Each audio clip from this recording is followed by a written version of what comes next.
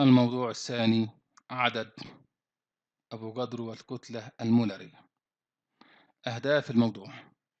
يرجى في نهاية الموضوع أن يكون الطالب قادرا على أن يعرف كل من المول وعدد أفوغادرو يحل عدد من المسائل الرياضية المرتبطة بعدد أفوغادرو والكتلة المولارية النشاط الأول أفكر أتعلم. في هذا النشاط المطلوب الإجابة عن السؤال التالي كيف يمكن التعامل مع الذرة برغم من صغارها المتناهي؟ المول كتلة الذرة صغيرة جدا لا يمكن التعامل معها بمفردها ولكن يتم التعامل مع تجمعات ذرية تسمى المول.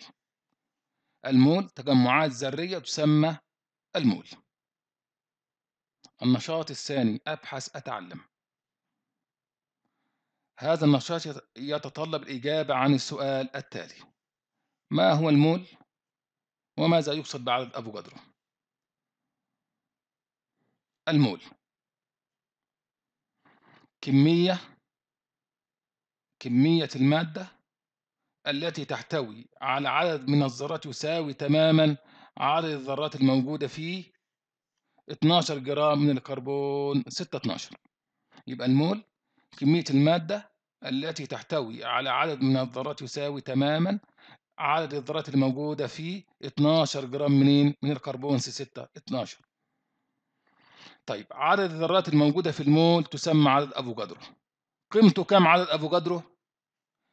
6.0 2 3 ضرب 10 أس 23 عدد أفوجادرو 6 23 من 1000 ضرب 10 أس 23 عدد الذرات يساوي عدد المولات ضرب عدد أفوجادرو النشاط الثالث أطبق أتعلم. احسب عدد الذرات الزنك الموجودة في كام 553 من ألف مول من الزنك. على طول عندنا القانون بتاعنا إن عدد الذرات يساوي كام؟ عدد المولات ضرب عدد أفوكادرو. عدد المولات كام؟ أهو. عدد أفوكادرو أهو 6 23 من ألف ضرب 10 أس 23 الناتج 3 33 من 100 ضرب 10 أس 23 ذرة. نشاط آخر مطلوب منك احسب عدد الذرات الموجودة في واحد من 10 مول من الحديد.